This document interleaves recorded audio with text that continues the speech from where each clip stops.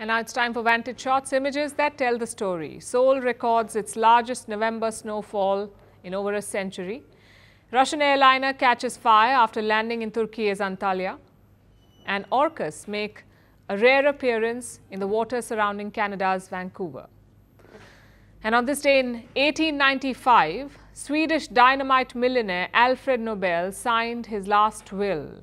In this will, Nobel specified that a bulk of his fortune would be set aside as a fund. This fund would be used for prizes to those who shall have conferred the greatest benefit to humankind. This led to the establishment of the Nobel Prize that we know today. We're leaving you on that note. Thank you for watching. We'll see you tomorrow.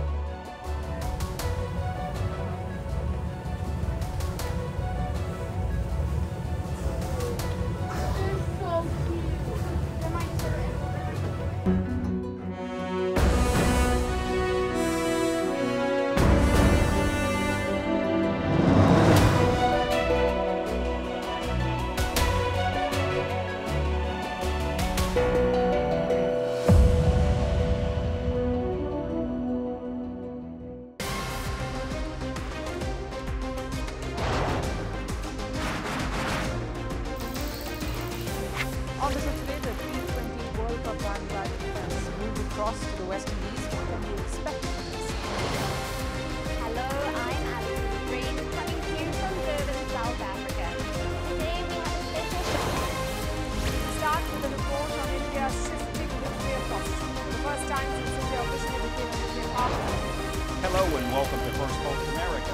I'm Eric Ham coming to you live from the nation's capital,